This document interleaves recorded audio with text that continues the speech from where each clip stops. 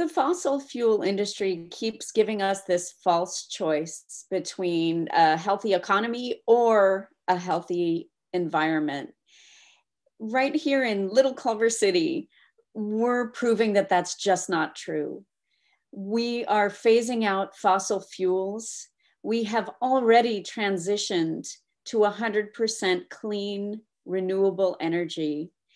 And in the process, we're creating good, sustainable, healthy union jobs in the process.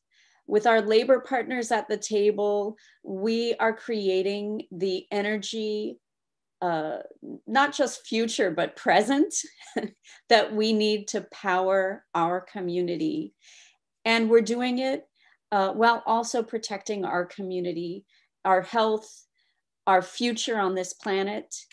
And this type of building together our resilient community is really the answer both to the economy and to our environment.